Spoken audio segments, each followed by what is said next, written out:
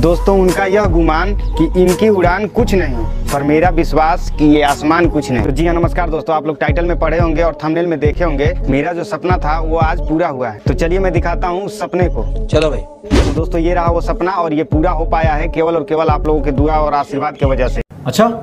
तो चलिए मैं इसकी अनबॉक्सिंग करके और आप लोगों को दिखाता हूँ। हाँ बिल्कुल। दोस्तों इस सपने को पूरा करने के लिए हर यूट्यूबर को इतना संघर्ष करना पड़ता है कि आप लोग समझ सकते हैं। हम मालूम है तेरे बाप को मत सिखा चल। ये है मेरा सिल्वर प्ले बटन जो एक लाख सब्सक्राइबर पूरा होता है तो यूट्यूब की तरफ़ से मिलता है। और आप लोग जानते भी होंगे तो चलिए हर यूट्यूबर की तरफ़ मैं भी इसकी अनबॉक्सिंग करके आप लोगों को दिखाता हूँ। क्या बात है? तो ये देख लीजिए पूरा पैकिंग है जहाँ से आया है ये लिखा हुआ है सब कुछ। बाकी इसको हम खोलते हैं आपको दिखाते हैं। ये खुल गया बॉक्स अब इसको हम निकालते हैं।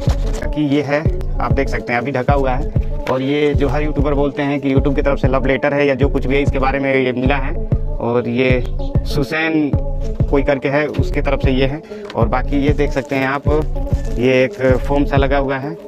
और बाकी फाइनली ये है सिल्वर प्ले बटन जो आप देख सकते हैं। देखिए, यहाँ पे मेरा नाम लिखा हुआ है। बहुत बहुत आप लोगों का योगदान है, ये मेरा नहीं है, ये आप लोगों का है, ये सिल्वर प्ले बटन बाकी भले ये मेरा नाम लिखा है बट ये ये आप लोगों का है। तो दोस्तों लास्ट में मैं यही कहना चाहूँगा कि ये सिल्वर प्ले बटन मेरा नहीं है, ये आप लोगों का है और आप लोगों के दुलार और प्यार की वजह से ये आज मुझे मिल पाया है। तो आप लोगों का दिल की गहराइयों से बहुत बहुत धन्यवाद जो आपने इतना सपोर्ट किया कि इसका मैं मतलब मैं देख पाया और अपने हाथ में ले पाया अपना सिल्वर प्ले बटन ये, लेकिन अपना मैं बस वर्ड बोल रहा हूँ, लेकिन ये मेरा है नहीं, ये आप लोगों का है। तो आप लोगों को दिल की गहराई से बहुत बहुत धन्यवाद इतना सपोर्ट और दुलार प्यार करने के लिए। तो आज ये सिल्वर प्ले बटन मिलने से मैं एक ही बात कहूँगा कि अच्छे ने अच्छा जाना मुझे और बुरे ने बुरा जाना मुझे। अच्छे ने अच्छा जाना मुझे और बुरे ने बुरा जाना मुझे। और जिसकी जैसी सोच थी, वैसे ही पहचाना मुझे। आप लोगों को दिल से बहुत बहुत धन्यवाद।